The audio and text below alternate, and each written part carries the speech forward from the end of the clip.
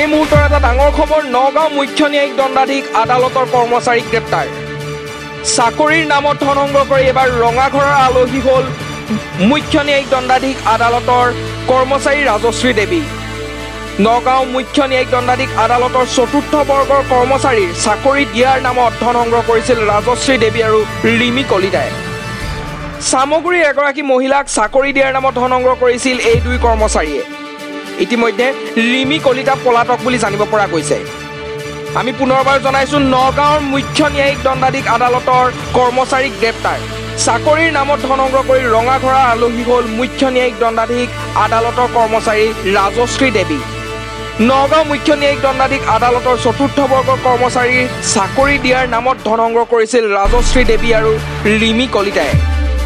চামগুৰিৰ এগৰাকী মহিলাক চাকৰি দিয়াৰ নামত ধন সংগ্ৰহ কৰিছিল এই দুই কৰ্মচাৰীয়ে। আৰু ইতিমধ্যে ৰিমি বৰা পলাতক বুলি জানিব পৰা গৈছে। পুনৰবাৰ জনাইছো নগাঁৱৰ মুখ্য ন্যায়িক দণ্ডাধীশ আদালতৰ কৰ্মচাৰীক গ্ৰেপ্তাৰ। চাকৰিৰ নামত ধন সংগ্ৰহ কৰি ৰঙাঘৰা আলহী হ'ল মুখ্য ন্যায়িক দণ্ডাধীশ আদালতৰ কৰ্মচাৰী ৰাজশ্ৰী দেৱী। নগাঁও মুখ্য ন্যায়িক দণ্ডাধীশ আদালতৰ চতুৰ্থ বৰ্গৰ কৰ্মচাৰীৰ চাকৰি দিয়াৰ নামত ধন সংগ্ৰহ কৰিছিল ৰাজশ্ৰী দেৱী আৰু ৰিমি কলিতাই। চামগুৰিৰ এগৰাকী মহিলাক চাকৰি দিয়াৰ নামত ধন সংগ্ৰহ কৰিছিল এই দুই কৰ্মচাৰীয়ে আৰু ইতিমধ্যে ৰিমি বৰা পলাতক বুলি জানিব পৰা গৈছে।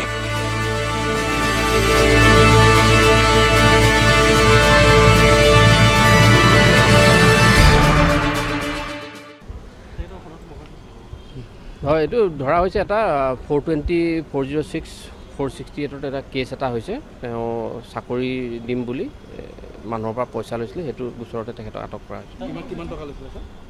এইটো বহুত বেলেগ বেলেগ এমাউণ্ট আছে কাৰোবাৰ পৰা ডেৰ লাখ এক লাখ ত্ৰিছ তেনেকৈ লৈছিলে। কাৰোবাৰ নামত লৈছিলে ছাৰ? অঁ, কাৰোবাৰ নামত মানে তেওঁ নিজকে পৰিচয় দি কোৰ্ট অফিচাৰ বুলি চাৰ্কুল অফিচাৰ বুলি পৰিচয় দি পেলাই লৈছে বুলি এলিগেশ্যনটো আহিছে এফ আই আৰৰ হয়। হয় হয় লৈছোঁ। মানে এতিয়া প্ৰডাকশ্যনত আনিছেহে এতিয়ালৈকে অৰ্ডাৰ হোৱা নাই। হয় লোৱা যাব।